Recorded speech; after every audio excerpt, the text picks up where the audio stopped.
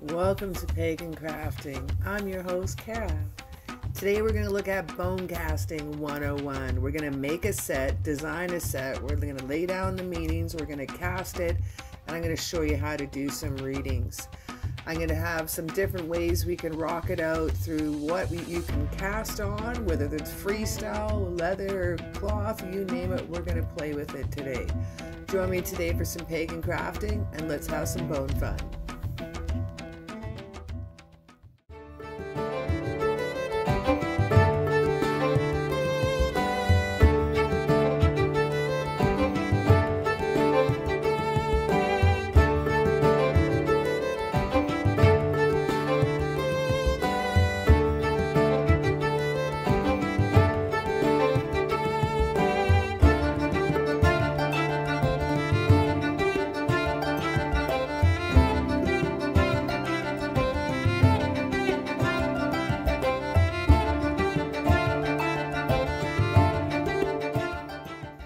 So the supplies that you're going to need today are bones.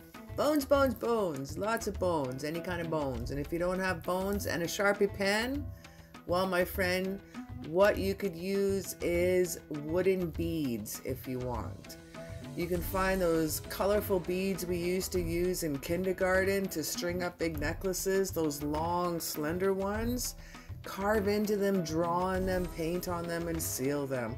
Same goes for using twigs, branches, little things like that will work out super cool. I can't source mammal bones as well as I can. I found these little guys. I sourced them out through a local trapper, so they're ethnically sourced. They're little toe bones. All the other bones you see here are turkey neck bones. They're all from Christmas dinners and Thanksgiving and Easter dinners. Now these are bone beads. So just as I was talking, if you can't find um, bones or you don't eat meat, you can't collect bones or source bones, I found these at a local bead store just in a local grab bin. So these were like, I had a little two, two by two inch baggie I could fill up for five bucks. And then I picked all these little special ones out. I don't know what I'm going to use them for. I'm really excited. I just got them about a month ago. I'm going to use these. Oh, it should be four of them. These four of them uh, that are going to use for the elements. I kind of dig on that. I got a little extra one there by accident. And, oh, there it is. And the, this long brown bone I'm going to use for the self bone. I'll explain what that means later. So I thought these would be really, really, really cool to make a bead bone throwing kit without having to clean the bones myself, carve them, shape them. Whew, they're already there, so I just got to apply some meanings to them. So I'll keep you posted on what I'm going to do with those bead bones. Now, I just recently posted a video here on how to paint your own bone set. Again, I'm using here turkey or uh, it's pretty much all turkey bone. I have one wishbone that's chicken. And these ones, that one is for darkness. This one is for the light. Uh, space, this is for goals and flying out to meet your goals. This is past influences on the question.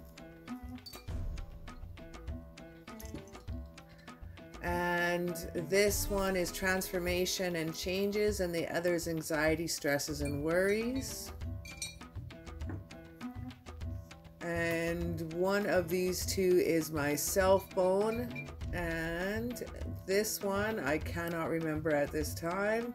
We're gonna keep moving on. This is for spiritual. This one is the self bone so all bones that rock in coordination relation to it and how they lay down when I throw it down. That's what I'm going to use this self bone for is what is going to mean in the reading. It's going to how it's going to lay it out.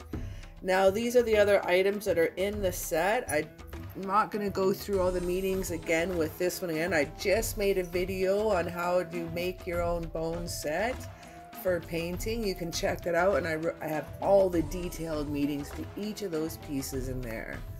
I have metal, bone, and wood in that set. That is very important to me to have that. Now what I've done here, I've done a little description with the meanings. I just printed out a little stack that I can write down the object and with description right beside it. We're gonna start off with the yes and the no. And we're gonna do a yes and the no not only in the toe bones, but also in the neck bones. I'm gonna use one, one bone and it's gonna have two symbols per side. So it's going to have, uh, depending on which way it lays, it'll have a design that way. So let's start off with our toe bones. I first start off, I was just looking at them and I was wondering, I think I'm just going to pick the biggest one. And then I, I wanted, wound up taking a while to choose them. I didn't realize I was starting to vibe with them. Some of them I didn't, didn't want to, some of them didn't want to be with me. Uh, I let them know what I was going to be doing with it and I narrowed it down to these three. So it's kind of weird. I took a little long time picking them out, but I decided to film that because when I was working with the bones, I was already starting to ask them questions like, which one do you want to be? Yes or no? And they're like, I don't want to be anything. So I just kept like, oh, all right, I'll keep looking. Now what I'm doing here is I'm throwing the bones down and I was wondering if every time it fell the same way it would point up, but it didn't.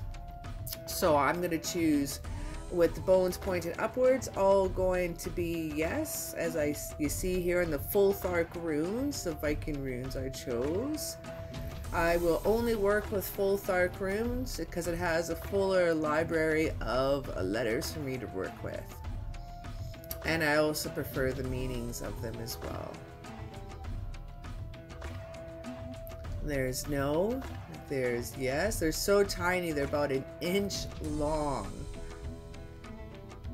Now I find mammal bones a lot better to work with than bird bones. They're sturdier, hardy, and they're gonna last much, much longer. Already on my table, you see some white flecks on my tablecloth, and that is from these bones here, the neck bones. So there are some little bits and pieces that will chip off from time to time. So you could clear coat them and lacquer finish them when you're done, I would like to lacquer finish mine. Right now we're in winter time when I'm making this video, so I'm going to wait till summertime or springtime. And then I'm going to clear coat them all. And then I hope that'll seal and harden the bone as well for me. Just playing how they roll to make sure that it's going to do what I want it to do. I'm going to use one side each of the neck bone so I wanted to see, I was kind of throwing them down like dice to see how they're going to lay down. If they're going to lay down the same way every time, then these aren't the right bones for me. It's like cheating at dice or something. So I'm doing a yes and a no again.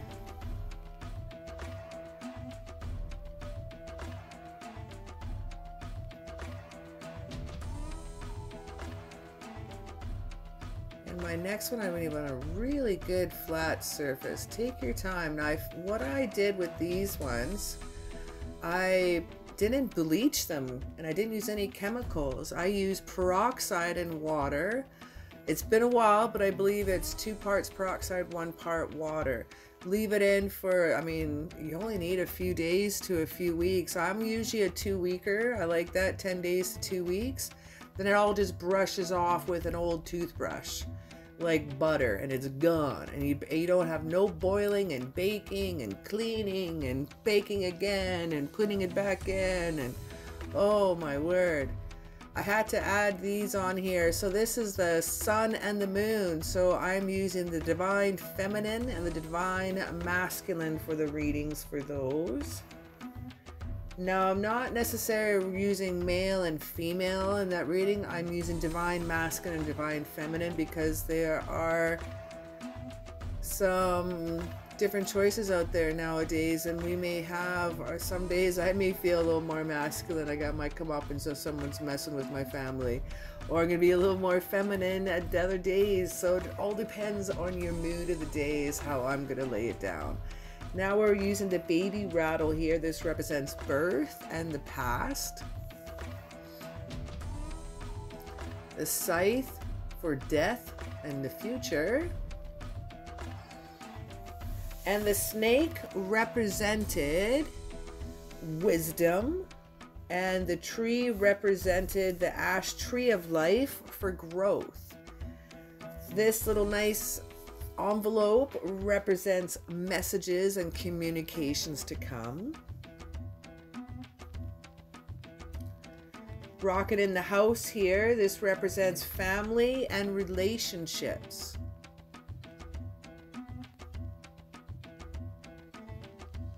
And the heart, of course, is for heart, love, and partnerships.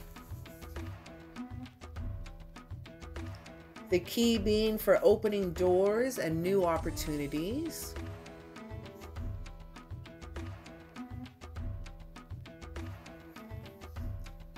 And the star is for spiritual. And later I also add the symbol for non-binary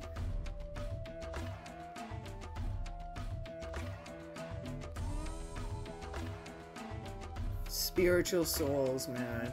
Now, the mountains for me represent goals, dreams, and aspirations.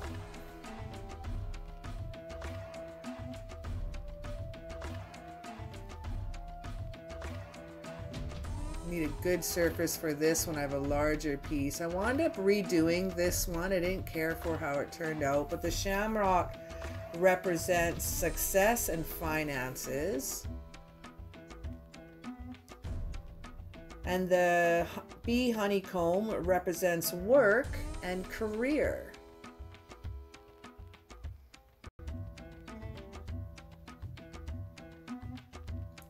Now my last four pieces are for the four elements. I'm using, I'm a tarot card reader, so I'm using the tarot card symbols as well as a triangle and circle symbol for earth, air, fire, water.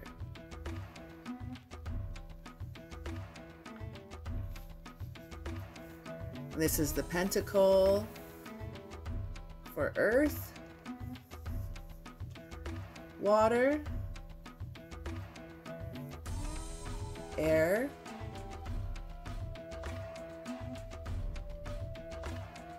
and my last one being fire.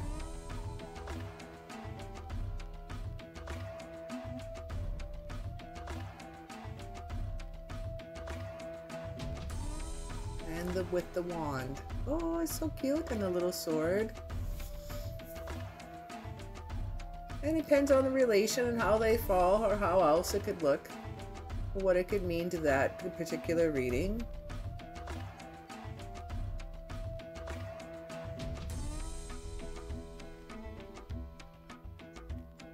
So there we have it. Didn't seem like as many. I'd like to add a little bit more to my collection, but I think that's a good start. That's as many symbols as I could come up with for now.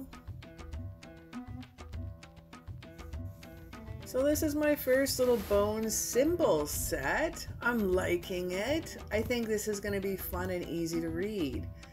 Uh, I think I'd like to add some more symbols to this set, but I, I reckon it's a good start and I'm going to use my yes and no toe bones separately. Now what I like to show you here is different ways of items that you can cast on. This is a wooden board that I made recently. Here's the video link here up above. And you can learn how to make that board if you'd like. This one reads in the past, present, future past, present, future, all along in the rings. So it depends on where each bone lays. I got the beehive here in the present, and that's super cool because I got the healing hive in the process. Gonna work on the path of the pollen this year is one of my things I'd like to try. And this here, you can also learn how to make this throwing. This is a piece of leather. You can also use a nice cloth. I'm just going to use charms here so we can look at something a little bit differently. I have an opportunity here. I've seen I got the bullet and maybe I got an opportunity for love. Maybe I have a little, ooh, I got the little wheelbarrow. Maybe I got an opportunity for love and bury the ex in the backyard and I got new beginnings of love here. Ooh, there's a guitar pick with emotions. I'm being serenaded with new love. Get rid of the ex, shoot him in the head, bury him in the yard. New beginnings, emotional coming on. That's a great reading. Let's see what else we got here. You can also cast on fur, so it can be freestyle. Doesn't need to be any words on it at all. Whatever stays on the fur, you read. Whatever comes off the fur, you don't read. Some people read it if something jumps off out of your hand first, off the fur, you read that one as like the main one. So it depends on your preference and just go with your gut and go with your instinct and have some fun that way. Another way you could use is simply paper. These are the rings, past, present, future as well if you'd like. You can put in your own words, which I will provide you here. All these sheets you can find on my Etsy store. I'll put down a link down below so you can find that. But you can write down power words here in each of the different little pie pieces.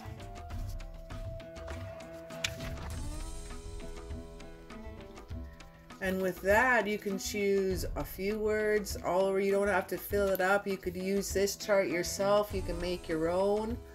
You can use as many or as little as you'd like. There is endless possibilities. It is wonderful.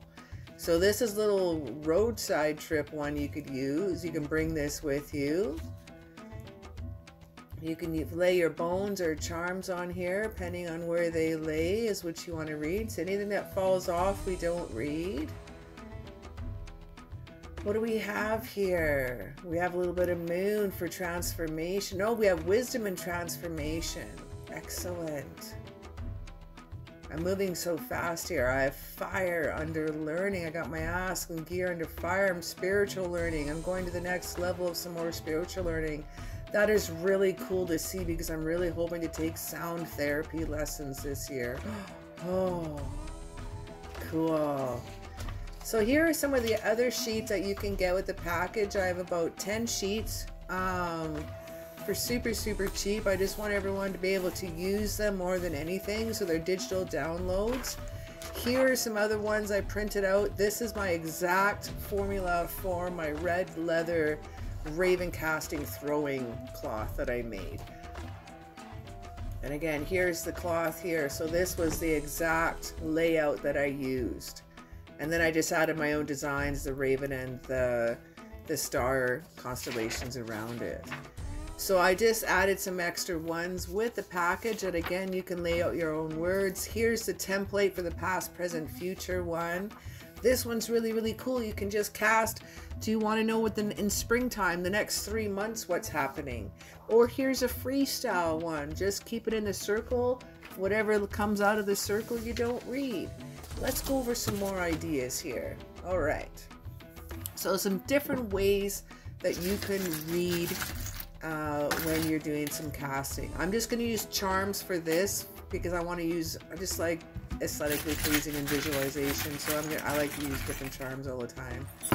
So let's just lay these down for a quick moment. So it depends where they lay. Again, anything that's on the outside. Oh, my mud bunny one. I remember that one. Anything that lay outside, you don't read. So let's just pull off all the ones on the outside. Now anything on the inside is what we're going to read. And you could read whichever direction suits you best. You can go from a left to the right, and you're going to read from a past to the present, and then to the future. You could read it kind of like a linear, or you can just read it in like bars going across the board.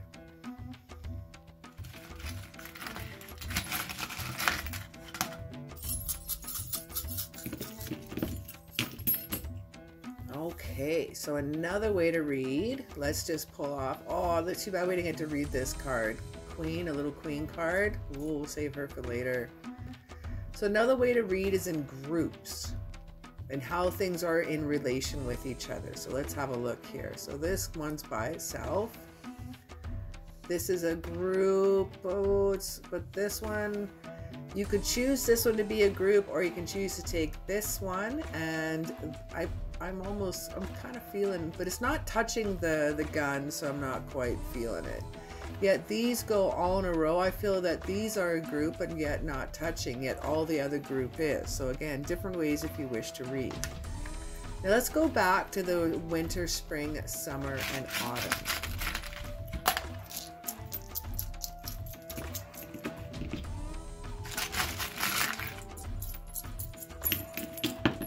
So these Again, pulling off of the ones that are either, you can choose the ones that are not upright or the choose ones that are, I'm taking out the ones that are in the center and ones that are on the outside.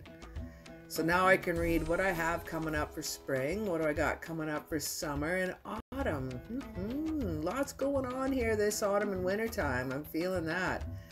So this is what we could do. You can break it down into quarters.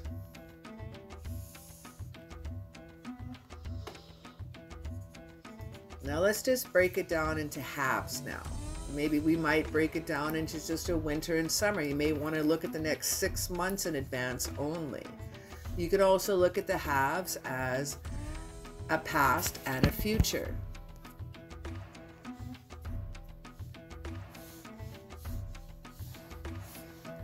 As you can see, each one are going to quarter and each one are going to three months periods. Each half is six months.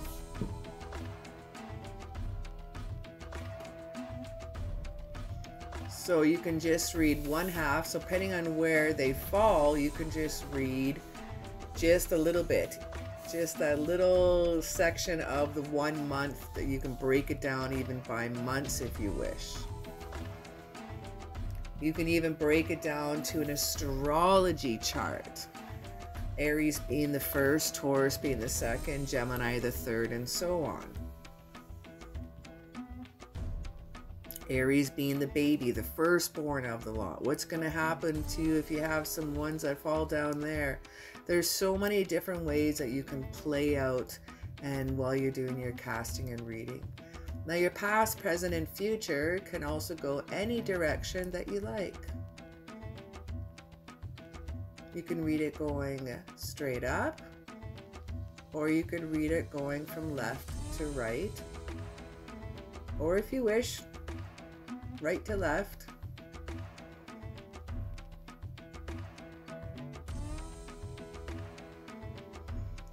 Now this one's a super cool one to use. This is your conscious and the bottom half is your unconscious. Conscious is your facts, your feeling, your true influences. Your unconscious influences are your urges, maybe your instincts, maybe things we're not aware that is influencing us. Now let's break it down again. We got the past conscious. We got the pa past unconscious. We have the future, and then we have the future and so on again again, there's depending on how the charms lay out, you can play it out. It is so much fun, so many possibilities. Now this one I just started using um, with charms maybe a year ago, super recent. Think about the chakras. Oh, However, the charms or bones fall on each chakra, maybe that's what you got to check. Say, what do I need right now? Show me what I got. Reach in and drop it. So we have the, the crown, the third eye, the throat, the heart, the sailors, the sacral, where the solar, and the root chakra. Let's have a little look here. Woo! I got some sun magic with the heart coming in here. We got some flight, some bird magic coming in. Ooh, the throat, seashells, communications coming in here. A lot of growth in my sacral. I'm not sure what that says. A key to opening up doors. Those ones don't count. And hey, I got some love coming in here. Wow. Loving it. So that is four different ways that you can rock a bone set. Again, if you don't have bones, you don't want to use bones, stick again around for I have some no bones about it coming up here, some videos. I'm going to do some shell divination as well as some vegan friendly divination. So those of you that can't source bones, don't like bones, don't want them, can't get at them, we'll find a way for you. Beads or wood works just fantastic. Throw me down a like if you like this video. If you want to see another one, ring that bell, subscribe, and I will see you on the next video and have yourself a magical day.